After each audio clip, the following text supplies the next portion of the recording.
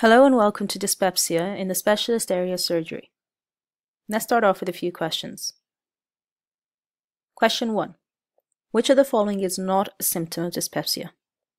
Read the question carefully. Three of the symptoms listed are characteristic of dyspepsia. A. Vomiting, B. Belching, C. Nausea, or D. Hemoptysis. The answer is D. Hemoptysis. We will discuss the presenting symptoms of dyspepsia, but hemoptysis is not a typical symptom. Question 2. In what age demographic would new onset symptoms warrant an immediate endoscopy? We need to rule out an upper GI cancer or a sinister underlying cause which may present similar to dyspepsia and which present especially at this age group. The answer is more than 60.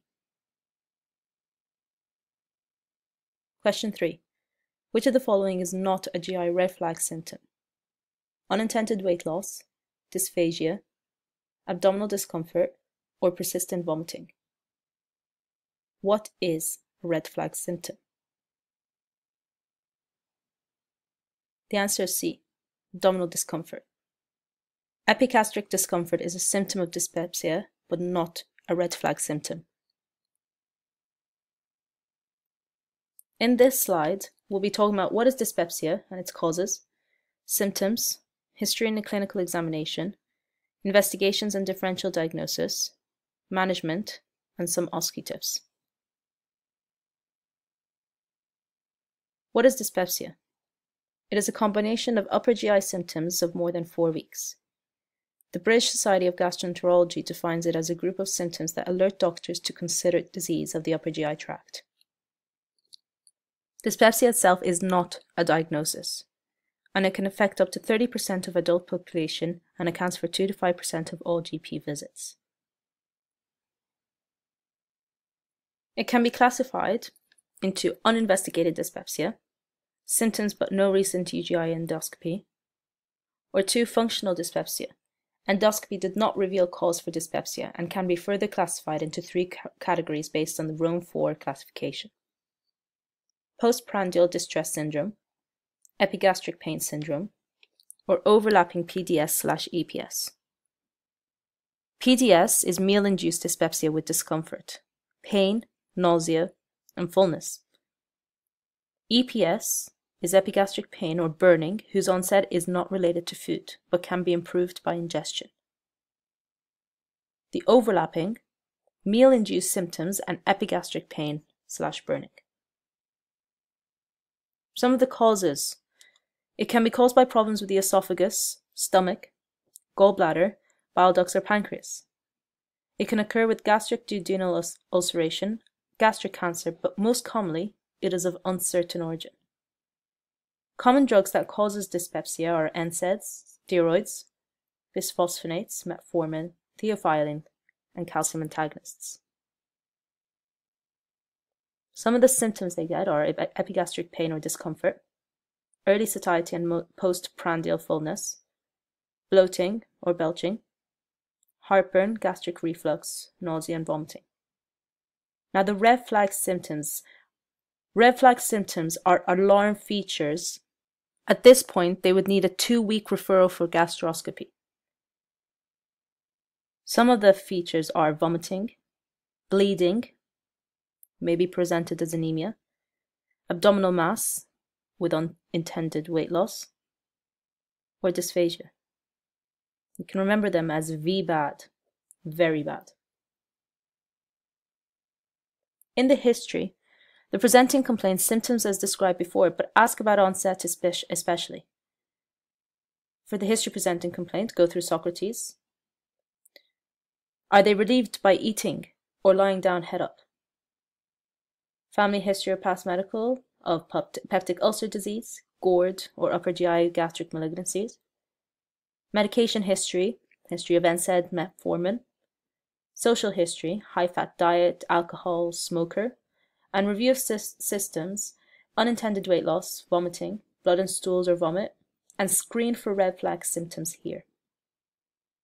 Symptoms suggesting prompt endoscopy include persistent vomiting, bleeding, abdominal mass, unintended weight loss, progressive dysphagia, and family history of upper GI cancer.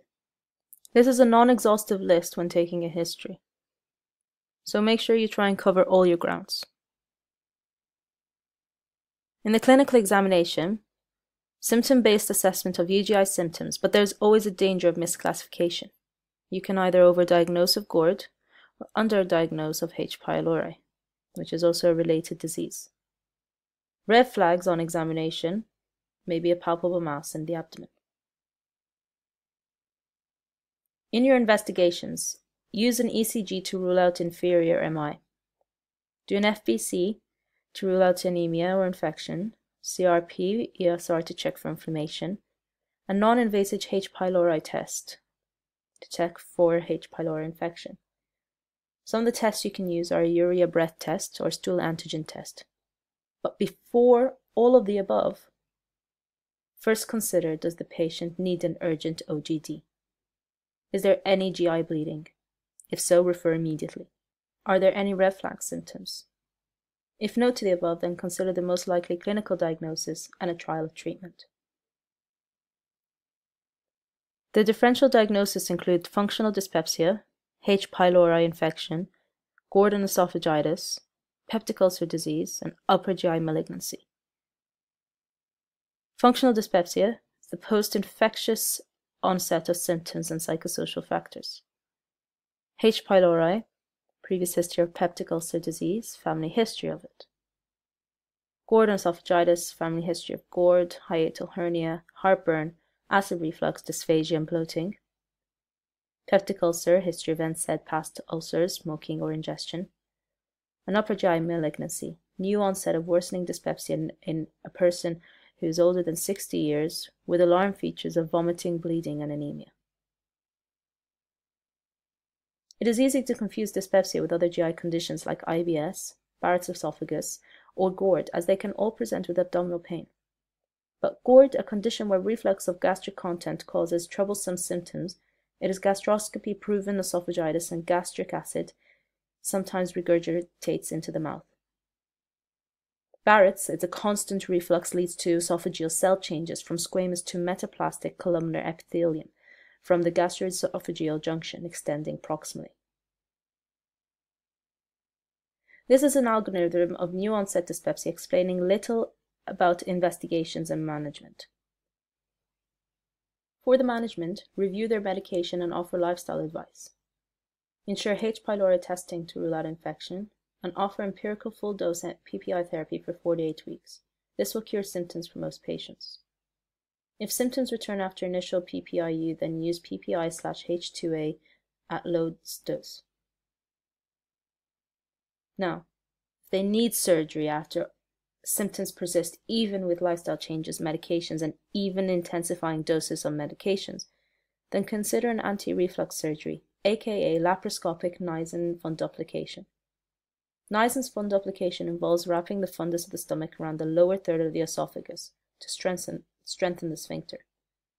Used to treat severe cases of GORD. Some OSCE tips. Remember to explain why you'll carry out investigation and what you'll be looking for slash ruling out, as diagnosing dyspepsia is ma mainly ruling out other conditions. Remember the red flags. And keep in mind the differentials and be able to list three off the top of your head as this can be an OSCE question. Let's summarize with a few questions. Which of the following is a symptom of dyspepsia?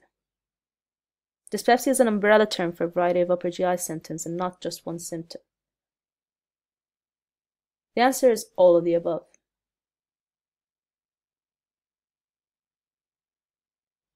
Question 2. Approximately how long did the symptoms need to persist for it to be classified as dyspepsia? When taking the history, it is important to assess onset and duration of symptoms. The answer is four weeks. Last question. In a Nissen fundoplication, which two parts are laparoscopically wrapped around each other?